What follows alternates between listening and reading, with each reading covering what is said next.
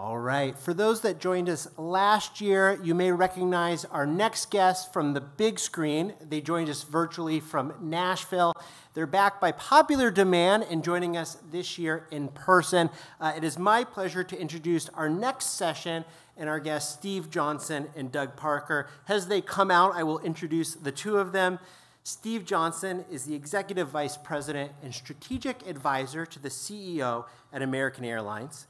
Steve collaborates with and provides counsel on American strategy development and strategic positioning, economics and competition issues, corporate governance, corporate purpose, and ESG, and much more. And I uh, should say uh, that Steve, in addition to being a proud Berkeley alum, he's currently teaching two courses at the university, uh, one at the law school and one at the business school. So uh, we're so pleased that Steve is such a generous part of the Berkeley community. I'm sure he'll talk a bit more about that.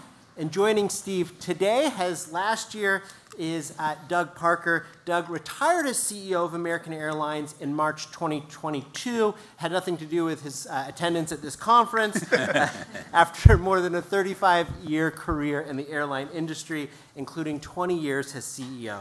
He was named CEO of American following the merger of American Airlines and US Airways in 2013. Doug continues to serve American Airlines as chairman of their board of directors. Steve, Doug, thank you so much for joining us again and this year in person. Thanks. Thanks. Thanks for having us. You want to start? Yeah, sure. well, it's um, it, it is great to be here and doing this in person this year, but um, you know we did at when we were uh, last year we did it at Vanderbilt in this really cool building, and we had it was built as a fireside chat, and we had an actual fireplace. yeah, that was nice. A real one that would have come in handy here today, I think. Well, good. Well, thanks. Uh, and before we get started, it's really important. As, anyway, as was just described, Steve and I have worked together for a really long time, um, since like 1995 at America West. Then, you, then we merged with U.S. Airways, and then American. So, um, anyway, you, you will notice quickly that this isn't a normal kind of question and answers. I, I, I rely on Steve for advice and answers as much as as he does me. So and vice versa, for just, sure. So yeah. anyway, so just know that this is uh, we've been we've been uh, Steve's a great friend. Um, happy to be here again with you all. Um, and, and hopefully provide some provide some information you find of interest. Yeah, and Doug, I'll just add my thanks on behalf of the forum and the Berkeley community for doing this again. Um, Doug is uh, not just uh, here this week, but he's actually coming back to California next week to guest lecture in my class. So um, uh, it's really great of him. Um, you know, last year we, we had a lot of fun and um, had a really interesting conversation about uh, talking about uh, how public companies are embracing a broader group of stakeholders and um, talked a lot about how American had been doing that for a while and, and, and you know, the benefits that we'd achieve from that. Um, Adam's pretty cool about this. He lets us talk about whatever we want. Um, so uh, this year we thought we'd uh, uh, shift gears a little bit and talk about the role of business in society, um, and especially the role of uh, public companies uh, in society. And of course, the, the background music for this is that uh, society is facing um, an enormously consequential, you know, dare I say, existential set of um, really intractable challenges. You know, climate change, growing inequality, um, uh, you know, voting rights, and and you know, real threats to democracy. Um, threats to economic stability and economic growth in the form of you know geopolitics and cyber and et cetera. Um, and um, you know all of this is uh, made uh, more complicated by a very polarized political environment that we live in. Um, and indeed, uh, that polarized political environment, to a great extent, is uh, limiting the ability of governments to help us solve those problems. Um, so maybe, Doug, in the time we have, I'd like to touch on um, you know, sort of three broad topics. Um, first, uh, the role of public companies generally and how that's evolved over the 20 years you've been leading a public company. Um, second, um, and, this is something that you've participated in really extensively, uh, but the role of public companies in you know, public discourse and politics. And then uh, finally, a topic that I know you that's really near and dear to your heart is how boards have evolved and how we build boards to, you know, to be as, as effective in this environment as, as, as possible. Sounds good. So let's start. Let's just jump right in. Um, you've been the chairman of the board of a public company now for I, for 22 years or so, if I ca- calculate that correctly. Um, uh, just some questions about that. What what do you see the role of the public company to be in society today? Um, how is that changing? Uh, how is that evolving? And and can public companies and corporate the, the public company community be a catalyst for further change? Um, okay, there's a lot there. I'll try not to go too long. But um, first off, um, change. My, my other view is um, the, the work we're doing is changing, but the role hasn't changed. I think the role was, has always been um, for corporate America um, to be fully engaged in, in the political process uh, to the extent it makes sense for the corporation and for the people we represent. Um, it's just that the things that we're getting and have to get engaged in now are different than the past. So, um, you know, for example, I, think we had this conversation last year, so if it's redundant, I'm sorry, but it's, it, it helps set this up. You know, the, the, I'm on the Business Roundtable. We had this, you know, I know we talked last year about the, you know, the Business Roundtable statement and, and how that was to so many people such a, you know, kind of large event or a watershed event. And um, I, I, can tell you for most of the CEOs, it wasn't an event at all. Um, you know, on the Business Roundtable, I think you know, two or three firms chose not to sign on. Um, and you know, every CEO I talked to was like, well, "Yeah, of course we represent other constituencies. Um, we, we, work for our shareholders, but if you're going to work for your shareholders, you have to go represent the, you know, the communities you serve. You got to go represent your customers. You have to go represent your team. Um, and none of that seemed even remotely controversial to me, and I think to most of my peers. So, um, you know, what's different is, is, where, is, what you, is where you end up affecting that. Um, anyway, my favorite part of that story, and again, I think I, I think I probably told this last year, but it's, but it's important to me, um, is, you know, when that came out, uh, Gary Kelly, the CEO of Southwest now, um, was he's not on Business Roundtable. I was at an event with him. He was giving me kind of, he was kind of ribbing me about the Business Roundtable event, and I said, and I and I mentioned, yeah, a few a few CEOs did want to sign it, and he just looked at me and said, "How can that be?" he goes, "Did they not listen to Herb Kelleher?" Uh, you know, the famous CEO of Southwest, who is you know ran the best you know airline, who created certainly uh, the most. Um, shareholder value for airline people and, and share, airline shareholders ever. And, and, he, and, what he was saying, what, he, what I knew immediately went, because what he meant was what Herb always said was, I t- my job is to take care of the customer, take care of my team. They'll take care of my customers. That'll take care of my shareholders. And that's what he did. He didn't just say that to be nice to his team. That's the way the guy ran his company. The company's designed to take care of the shareholders.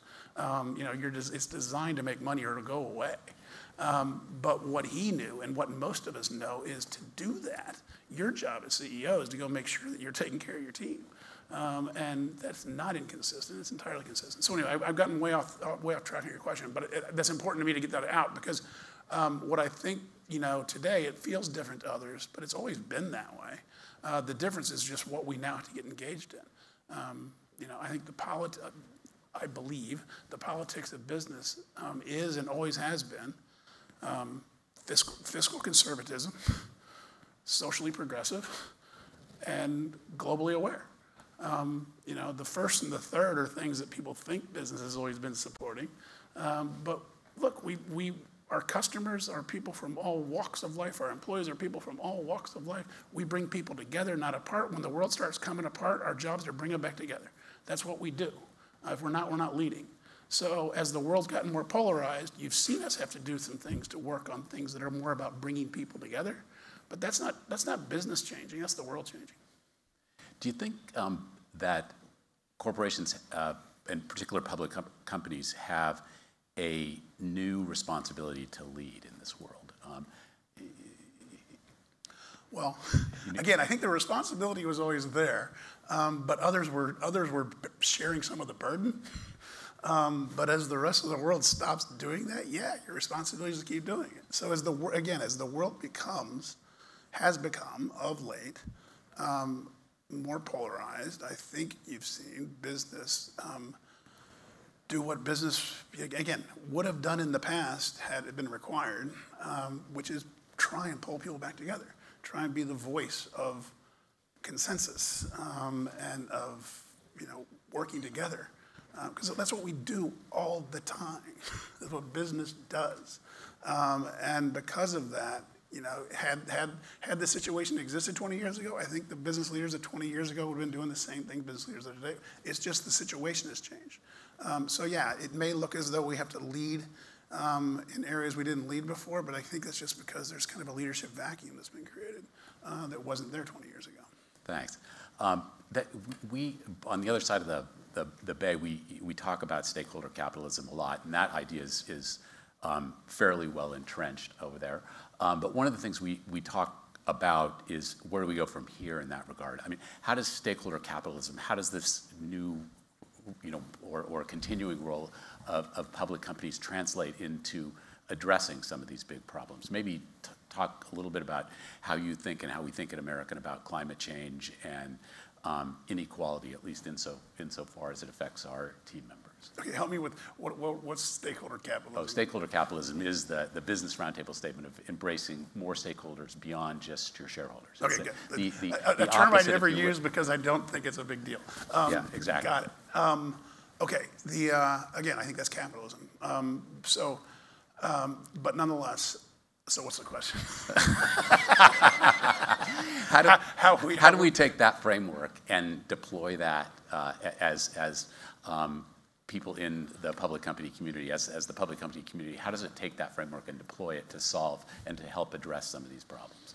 Yeah, um, okay, again, um, I, am trying not to repeat myself um, because I think, I think I, try, I think I've talked I touched a little bit on that. It just doesn't seem dramatically different to me, um, but, but I'll say this, um, that is, which is there certainly is um, some tension uh, that can stop corporations from, um, from, from working on things um, like climate change, uh, things that are clearly important to the world, things that are clearly important to corporate America, um, but um, that can stop, that, that, that really does um, require some, you know, certainly leadership and some, some, some thought change, um, at least in parts of, of corporate America would happen. Primarily short-termism, if that's a word. Um, you know, when, you know, the fact that so much of corporate America is focused on hitting next quarter's numbers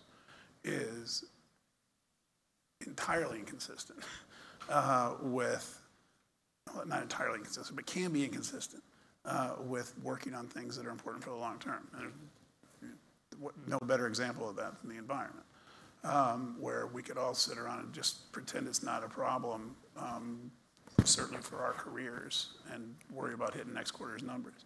Now, I don't think anyone's, you know, anyone's that stupid, um, but you got to make sure that, you know, that there aren't enough people out there not doing what's needed. So, uh, anyway, uh, so look, I, I think, um, you know, we worked really hard. We've tried to work really hard um, to always be thinking long term, to not get sucked into the worrying about, you know, if we're going to make 58 cents or 59 cents next quarter, um, and recognizing how trivial that is to the grand scheme of things. And if, you know, the difference between 58 cents and 59 cents is something that makes sense for the long term, then we're going to focus on the long term. Indeed, if the difference between 58 cents and, and a dime is, is something for the long term, we're going to focus on the long term. Um, because even, even in, um, you know, the, the most um, shareholder friendly um, statements of a corporate purpose, it talks about long-term shareholder value, not next quarter. Um, we all could be doing things for next quarter that aren't good for the long-term shareholders. Um, so you have to be focused on the long term. And um, so anyway, I, I, hope that's responsive, Steve. That, that, that, to me is the biggest problem that we face um, as corporations is this, this focus for, you know, the short term uh, that um, we need to, we, you need to constantly figure out, keep working to make sure that you're not focusing uh, on the near term the, at the expense of the long term. Yeah, uh, and I, I, I absolutely agree. And, and I think in some respects, the difference between the short term and the long term is more clear today than ever. I mean, as I grew up in my career, I talked a lot about the long term, and I, you know, it was, it, it, it was very conceptual, and I sometimes had a, a, a hard time you know, articulating exactly what the difference between trying to maximize for the long term and the short term was. But now, you know, we've got these problems that if we don't solve them, there isn't going to be any long term in, Right. in some respects, or the long term is going to be very uh, much more complicated than, than the world that we live in now. And it, uh, that's, you know, as I think about uh, corporate purpose and I think about corporate leadership, it's, it's, I think more about that than I do about the concept of stakeholders. I'm, I'm with you, that I sort of think of that as given. I, in fact, in a conversation the other day, um, somebody was talking about stakeholder capitalism and, and how it need, or actually about ESG and how it was going to change. And I said, yeah, it should change so that we could start calling it corporate governance. I mean, that's really what we're doing and, and, and what we're continuing to do. But Yeah, uh, that's a really good point. In the past, in, in prior, you know, 20 years ago, when we talked about long-term, I would, I would have given the same kind of answer 20 years ago, um, that it, short-term isn't as bad for corporations, you just think long-term. But when we talked about thinking long-term then, it was much more about, oh gee, what's my business gonna be like 20 years from now? Um, What's the environment, you know, what's technology gonna do to change my business? And we gotta be thinking about that, and we gotta be out ahead, and we gotta, you know, depending on what your business is, you gotta work on R and D and those things. If you don't, you're gonna die. Um, This is entirely different. This is, you know, we're all gonna die. Um, and- And you, and you gotta be working, and we've gotta figure out a way to make that um, a corporate um, requirement. Um, You've been, uh, particularly when you were CEO, but, but, but since then as well, you've been very um, outspoken about certain issues and indeed uh, have been uh, called by, by more than one uh, media representative on the right uh, woke. Uh, um, uh, Can we talk for, uh, about how you think about participating in politics and the political process as a corporate leader and how you think about a public company participating in politics, particularly in today's uh, complicated environment? Yeah, I mean, it, it gets back to my introductory comments. I mean, I think um, so much of, look, I mean, we don't, I don't think anyone wants to go wade into, you know, kind of controversial social issues, particularly in a polarized environment. But it, when you, you, if you're going to lead, which most of us are, feel like our job is, uh, you got to go support your team in things. And when, and when um, there are issues out there uh, that, you know, the, the political process is um, somehow creating to disenfranchise groups of people, I think we have an obligation to speak up and to let people know that's not what, at least that's not what our company wants you doing. I, look, I, I, I represent the people you're disenfranchising, and I, I can't stand still. Uh, I don't know how anybody can. I don't know how you can do that and say you're doing your job.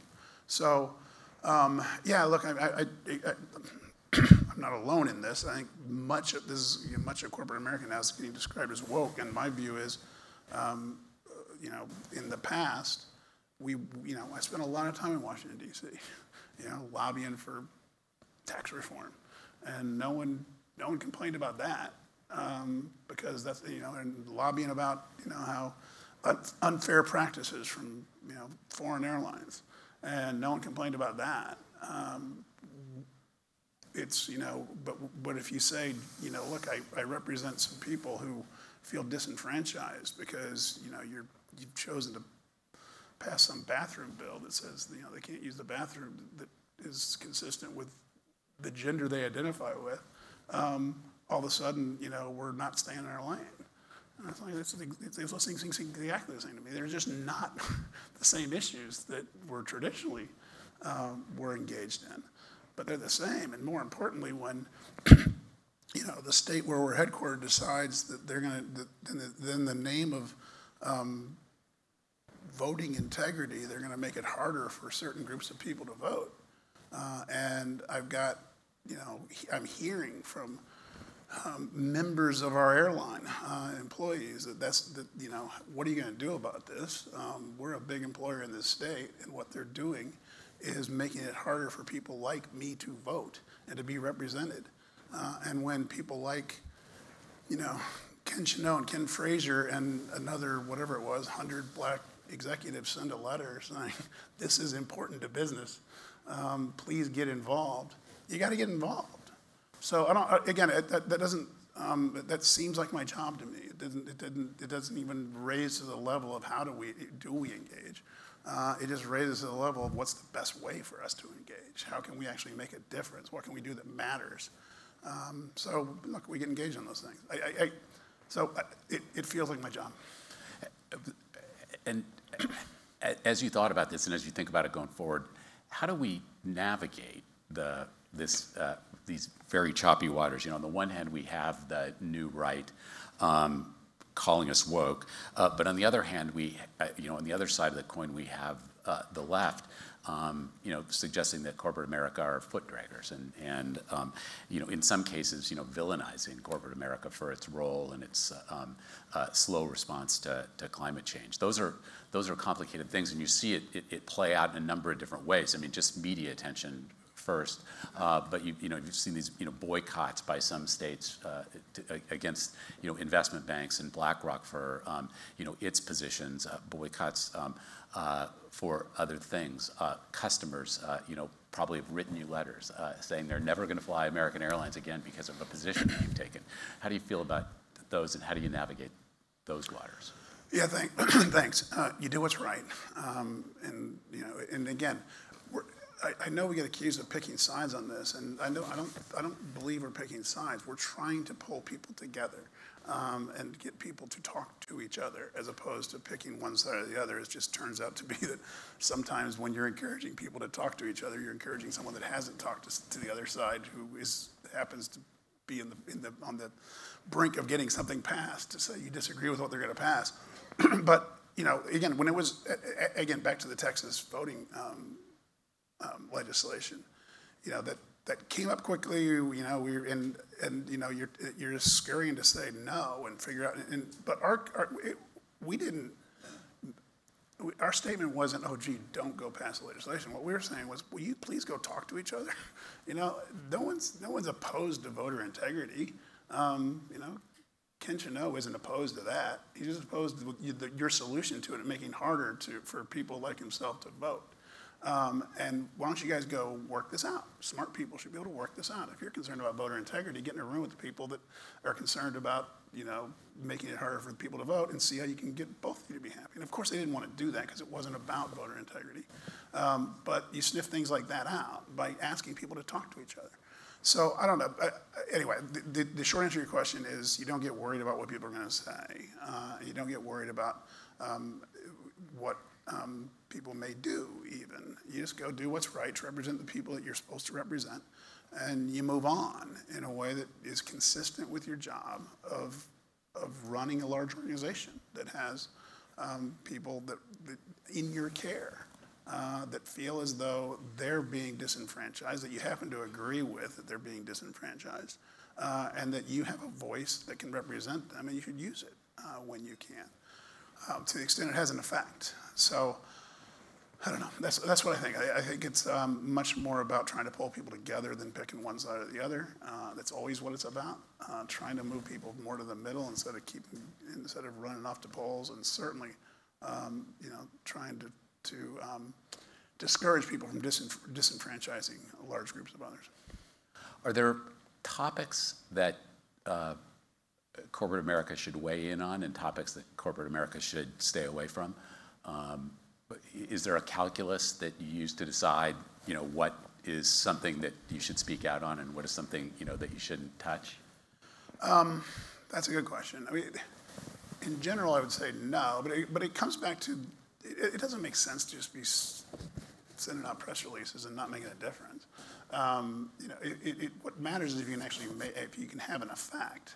Um, again, so when you know voter legislation uh, issues were going on in Georgia, uh, American didn't chime in. Um, we're not big in Georgia. When it was in Texas, um, and when you know team members, like I said, were rightfully pointing out to me, you can make a difference here. Please do. We chose to chime in. Um, so um, you know, it, it, it, it matters more where you can actually have an effect.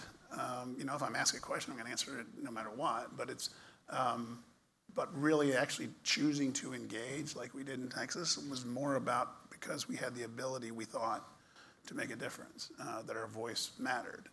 And if your voice matters more, certainly it makes more sense to get engaged. Um, but.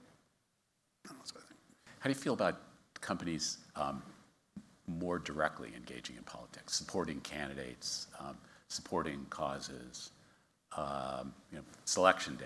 Uh, we, we, we still uh, don't see uh, uh, the public company community um, uh, speaking out on behalf of candidates that they prefer, candidates they don't prefer. I mean, it's obviously um, dangerous ground, but but it's also could be part of leadership in an environment like we're seeing in today's election, for instance.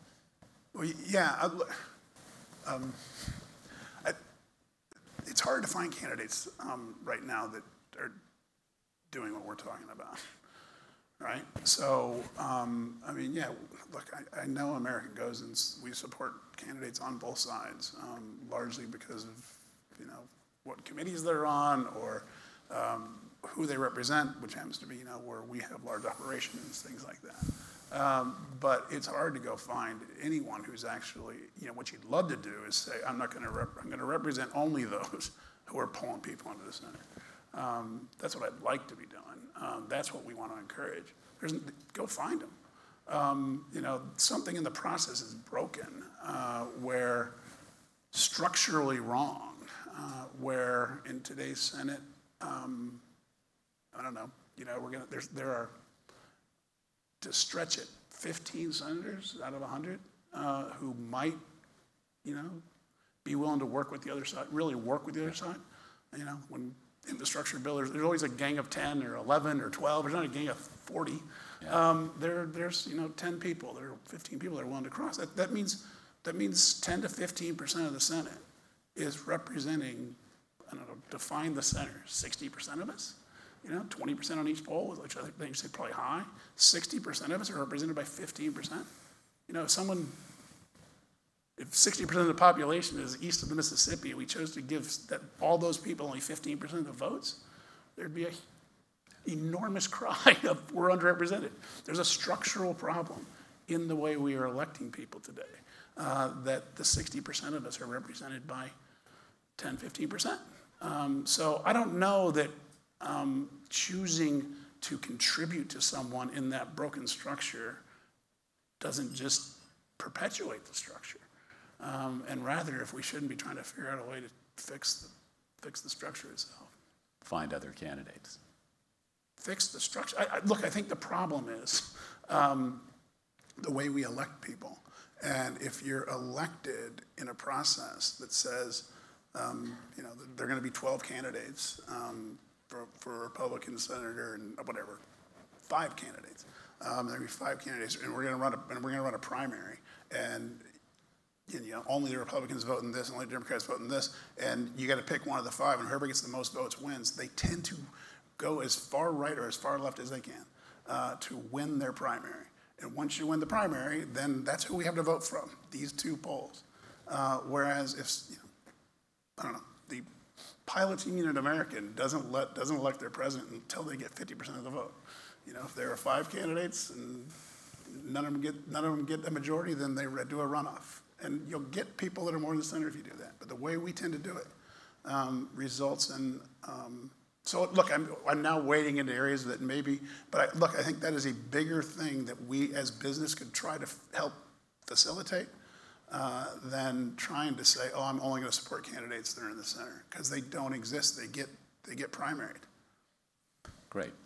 Um, let's um, talk about boards. Um, in this complicated environment, um, uh, we need really good boards of directors. Uh, you've spent 22 years leading a board. Um, that board's gone through uh, enormous change over that time through two mergers and through um, just uh, uh, board transition and board refreshment.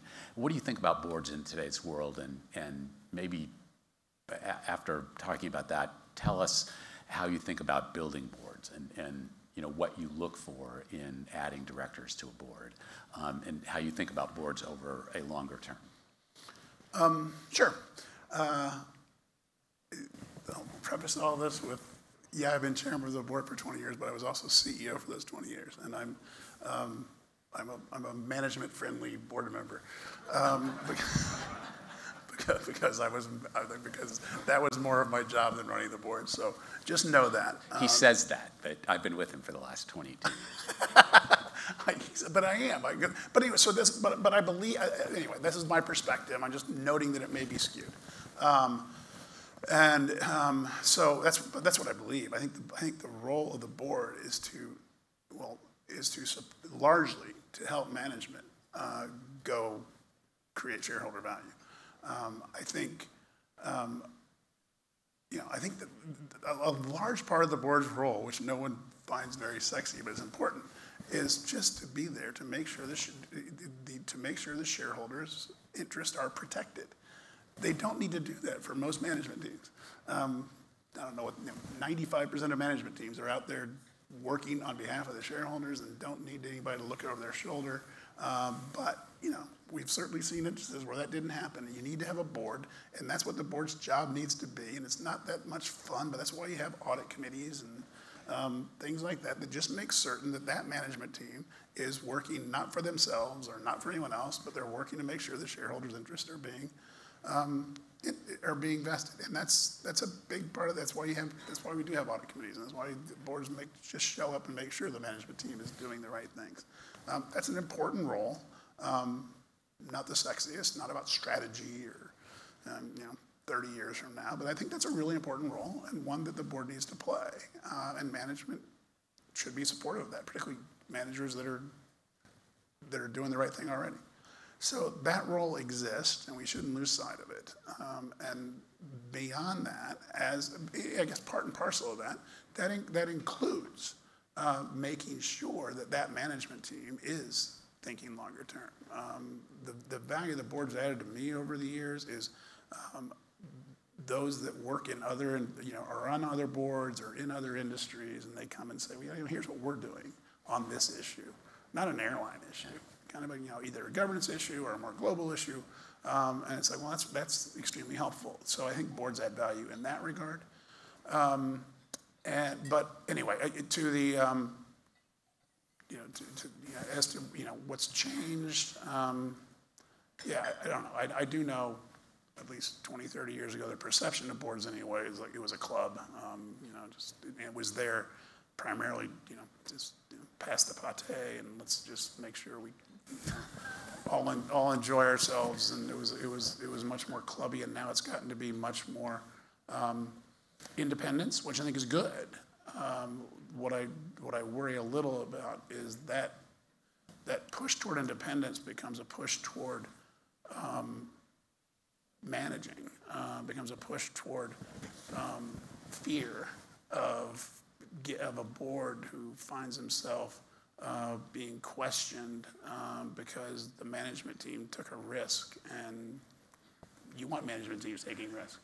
Um, but there's that it just gets so much that we're that we're moving potentially uh, into situations where the board um, wants to be so independent of management um, that they that they're not supportive of management, uh, and that they they they they some can get to where they uh, worry more about the board and the proxy and how what their votes are going to be um, than you know what's what what they should be doing, um, which is making sure, which is ignoring those things, um, doing what's right, making sure they're doing what's right, responding if they're asked a question, um, and having a good answer because they know what they did was right um, and allowing the management team and encouraging the management team to go take risk, uh, to go out there and do what they're supposed to do, uh, with always with an interest of doing what's right for the shareholders and the communities and, the, and their customers and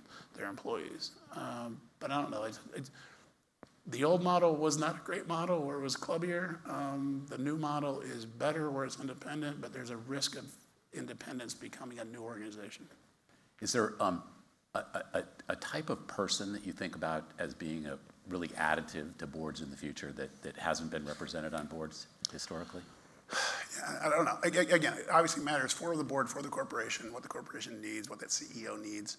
Um, I can tell you for us, we're in this transition now as, i am um, no longer CEO. We have a new CEO. The new CEO, you know, is looking is looking for a different kind of board than I had. Not true. We have a great board, great board members, uh, but for him, he would like more kind of sitting CEOs and uh, people that, that, um, than we have on the board today. Uh, so we're working to do that. I, and I, frankly, I think he's right. Certainly, um, for today's world, more people that have, um, I think, um, you know, sitting CEOs or something close to a sitting CEO um, who does appreciate that independence is important, but also, um, you know, it, would really help um, if that independence included um, helping these people do their really their jobs that are really hard um, and giving them the support they need and not causing them uh, to have to do a bunch of work that is not supportive of um, what needs to be being done on, on behalf of the corporation. Um, so that, that might be one. I, I, I,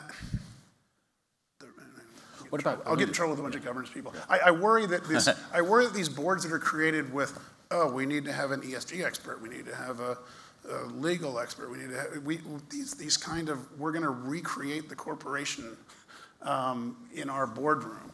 Um, so that we have someone that can question the company's ESG expert, um, and so we have someone that can question the company's IT department um, which is what it feels like, and maybe, and maybe it's not what people are talking about when they do it, but you certainly run the risk if that's what you do. If you just go create the CEO's organizational structure at the board, if you have a finance, you, here's our finance guy, here's our marketing person, here's our, here's our ESG person, and all those people believe their role is, is to go and add the value that they, the, the information that they've gleaned in their career, which is really helpful, done right, but can be harmful if it's just meant to every three months show up and um, ask people to report back into them um, the way they're doing their jobs so that they can see it's consistent with the way the board used to do their jobs. Cool. I, I thought about uh, uh, winding this up by asking you the question about, uh, asking you the question of whether you're optimistic about the future, but I already know the answer to that question um, with an exclamation it? point. Yes, yeah. uh, with an exclamation point. So let me ask a slightly different question, but to try to capture the same thing. And um, I'll give a, uh, a salute to a guy uh, that I have a, that I hold in pretty high regard, Mark Carney, who was a former uh, chairman of the Bank of England, is now very focused on uh, sustainability and. Uh, but he, he coined a phrase called the um, tragedy of the horizons, which he describes as being uh, the world in which we live in that, that's run by people that are your and my generation, um, but dealing with problems that are going to really come to bear and manifest you know, in the lives of another generation. Um, and you and I have this really great privilege and great experience of spending a lot of time with uh, very bright, very well educated, um, generally progressive younger people, um, uh, you know, at American, uh, uh, you know, me at the university, are uh, outspoken progressive children. Uh, what, when, when younger people ask you about the future, what do you say to them? and, and, and, and, and particularly younger progressive people who are, in some cases, pretty skeptical of the business world and the business community, and maybe even willing to call out the fact that big businesses played a role in the creation of some of these problems. How do you speak to them about this? Um, the honest answer to that question is like when my kids start bashing capitalism, I just I just let it go. Um, because they're leading this ridiculously privileged life uh, that is the result of my participation in capitalism. And to point that out to them seems futile. I mean, if they can't see it, if they can't see it, for God's sakes, you know, anything I say is not going to make a difference. So, my what I uh, my honest answer to that is they'll learn. Um, and you know, it, it's it's cool that they're going through that, and it's neat that they actually have those thoughts, and they're trying to think of a better way to run the world, and they're not sure is right, and you know, irrespective of where they're the environment they're sitting in as they as they as they um, as they discuss it. Um, so, but if yeah, but if they were to ask, and honestly, you know, and, and anyone that would ask me this, what I'd say is this: look, yeah, of course there are issues, and there are going to be issues uh, in our country and society going forward. But by far, uh, the best system that's been created to deal with those issues is um, the system of the United States, a democracy uh, that um, is is based on capitalism. Um, uh, you know, where everybody's vote matters. Uh, we, we're governed by people that are elected by the majority. And um, that are, that are designed, that is designed to have checks and balances that allows everyone to have a voice and allows, and should allow um, for us to, you know, make decisions that benefit the whole of society. Um, that's a great, that's a great structure and the best economic environment you can create for that is a capitalist society where, you know, people go out and, you know, make a difference and should have equal opportunity to do so. Um, and if you give them that opportunity, the best and the brightest go do amazing things and create and create amazing uh, structures and solve problems like the ones we're talking about. So I think it's I think that's why I am optimistic that that'll rule the day. Those things will rule the day. Uh, we're we're all struggling with a lot of things right now that are different than they were before, but they were they were different 40 years ago. Uh, and what matters is having the right structure in place. I think we have the best. Um, it can always get better. Um, we should encourage people to try and do everything they can to make it better. And, and asking questions is fine. Um, shouldn't be defensive about it. But I, I just happen to believe, you know, our structure will prevail. Thanks. The red light's on, so thanks very much. Right, thanks, thank you for your thanks time. Thanks, Steve. So if uh, Doug and Steve return again next year, we all get platinum status at American. so make sure to tell them how much you enjoyed their talk. Thank you both. So as an assistant dean, I actually have the right to assign anyone homework, including folks that aren't my students. And I want to encourage you all, if you enjoyed this conversation, uh, we're also joined by uh, my colleague, Professor Amelia Miazad, uh, who put together the Business and Society course that Steve's now teaching at Berkeley. Uh, she also developed an incredible online executive course that you all should take called Sustainable Capitalism and ESG Online. If you go to executive.berkeley.edu, uh, you can see and visit that chorus and learn about our other offerings.